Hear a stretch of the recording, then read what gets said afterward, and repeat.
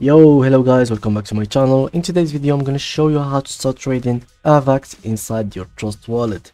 So with that being said, please open the price tracking website. For me, I'm using CoinMarketCap, and uh, because it is ha it has a beautiful interface and uh, easy to easy to use, and of course, it has much low scammers in this website and has so many many tokens. All right, now we go ahead and write here in the search bar the name of the token. For us we are willing to buy avax. So we go ahead and write avax.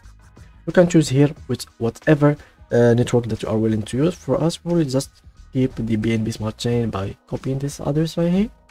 And now we are ready to open our trust wallet. So go ahead and open your trust wallet. Just like that. And go ahead and buy some salt because of course you will need salt. So start trading. So for example i will show you an example like for atm go and type the amount that you want click on next. And you can pay you choose now the payments method. You can pay with visa card or mastercard or even people pay uh, apple pay.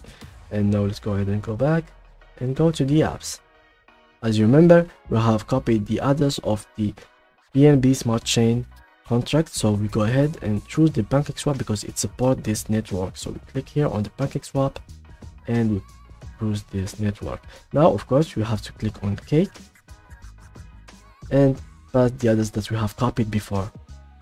Now we have the avax right here. We click on import and i understand import and as you see guys you can now trade between bnb into avax or transfer avax into bnb by just click on uh, clicking on this arrow right here.